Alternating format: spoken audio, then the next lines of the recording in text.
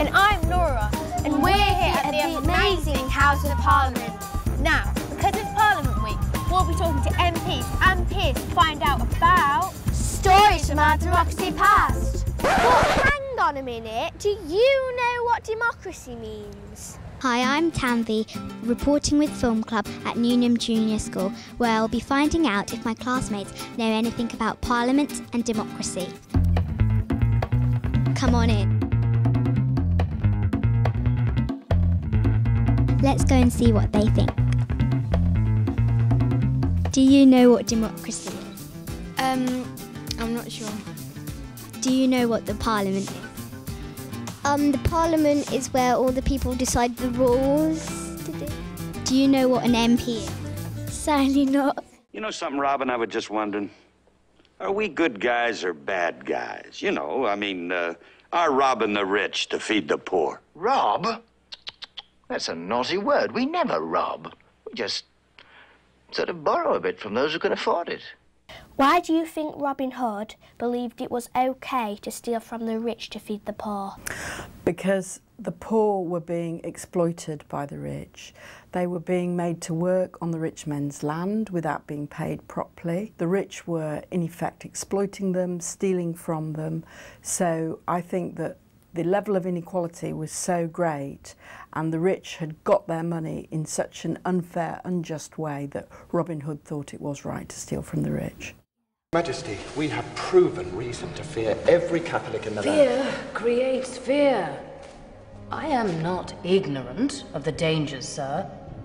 But I will not punish my people for their beliefs, only for their deeds. I watched the film Elizabeth and it showed how much religion really influenced the government in the past. Now religion isn't really seen to be as important to the government. Do you think this is better or worse? Well, I don't know whether it's better or worse. It's a completely different situation we're in now.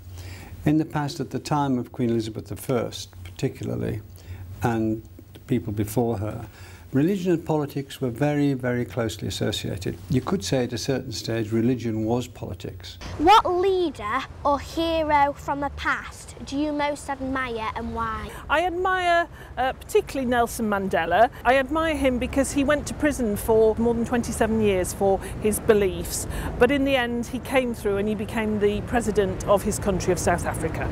So who in your opinion changed the government most drastically in the past and why? how about suffragettes who, who got women a vote? And because really before that, without poor people having a vote and without women having a vote, and I'm not sure that we had a democracy. Going back, you know, way to the Great Reform Act, that was another hugely important um, time in our democracy when we did away with the, the, the rotten boroughs and you know it, again it was a, about people being born to rule and the people not really having a say. But I'd rather say it's a mass of people because in the 19th century you get groups of people like the Chartists and then the Socialists and the trade unions at the end of the 19th century uh, and the women's movement at the beginning particularly of the 20th century. It tends to be groups because we're a democracy. Do you have a question for an MP?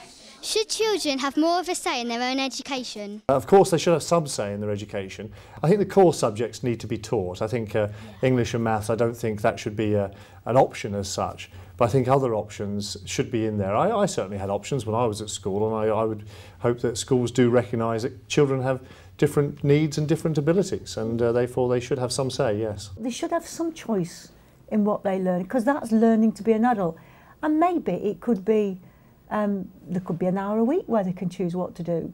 They could have some element of choice over certain modules. I think it's really important to involve children in having a say in their education. When I first got elected to Parliament, I got in touch with all the schools in my constituency to see whether they had a school council, because that's a good way that you can make sure that children, right from the youngest to the oldest, can be asked about things that are happening in their school, including their lessons. Yeah, uh, well, I think you've covered all of my questions, so thank you for your time. Thank you, and thank you for coming all the way to Westminster to do this. Thank it's you. lovely to see you here. We've had an amazing day talking to really inspiring politicians about the government and politics in the past. We hope you enjoy your films. We loved ours.